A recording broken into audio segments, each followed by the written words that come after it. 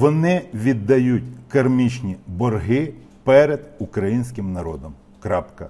Жодним чином офіційно ми не будемо визнавати цього, але разом з тим я вам розповім окремі деталі. З Києва. Ну, Києва. Києва це засуджений заочно держзрадник, це негідник, який зрадив Україну, який працював довгий час на ворога. Окрім того, що він збирав, передавав інформацію, а потім в результаті е, виїхав за межі неньки України до Росії, де продовжив працювати у вигляді основної говорячої голови ФСБ в проведенні СІА, тобто спеціальних інформаційних операцій, і проведенні ІПСО інформаційно-психологічної операції. Він курував ряд агентурних проникнень в Україні, займався в тому числі підготовкою різних диверсійних актів і багато всього іншого. Засуджений заочно, якщо я не помиляюся, до 14 років позбавлення волі. Зброя калібром 9 на 19, кор- коротка, нарізна.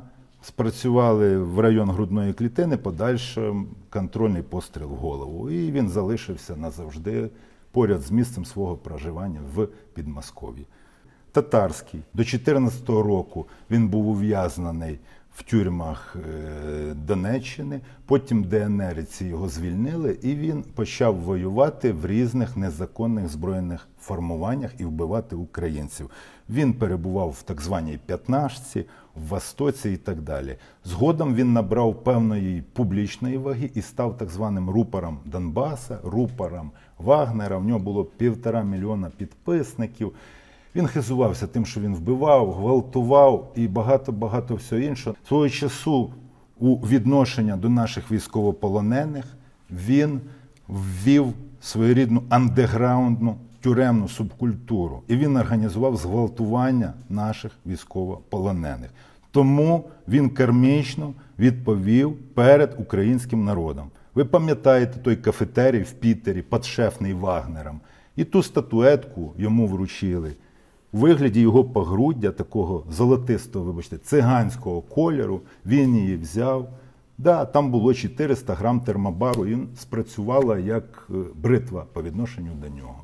Прилєпін очолював один з НЗФів, один з ідеологів російського міру, який просто хизувався на всю Росію і далеко за її межами, що українців потрібно вбивати, як саме це потрібно робити, і так далі. Справжній військовий злочинець їхав на свою дачу, і по дорозі відбулось спрацювання відповідної танкової міни. В той день за кермом був його водій, також військовий злочинець, який вбивав наших співгромадян. Водій загинув на місці.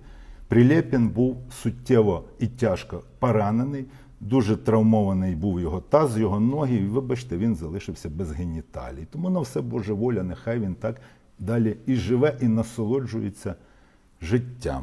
Геренко, генпрокурор ЛНР, який разом з псевдосудами ЛНР засуджував до смертної кари наших воїнів, наших співгромадян, вибухнув в своєму кабінеті разом зі своїм заступництвом. До речі, довгий час вони думали, що ракета в вікно залетіла. 800 грам Сі-4, тобто пластиду було в кабінеті. Кернет, міністр внутрішніх справ ЛНР, особисто організовував катування. В 2014 році перейшов на бік ворога. Зайшов поголитися в перукарню, де він ходив раз в тиждень. Там і вибухнув. Правда, залишився живий тяжким інвалідом. Але офіційно можу сказати єдине, Служба безпеки України ніяк це не прокоментує і не підтвердить ніколи.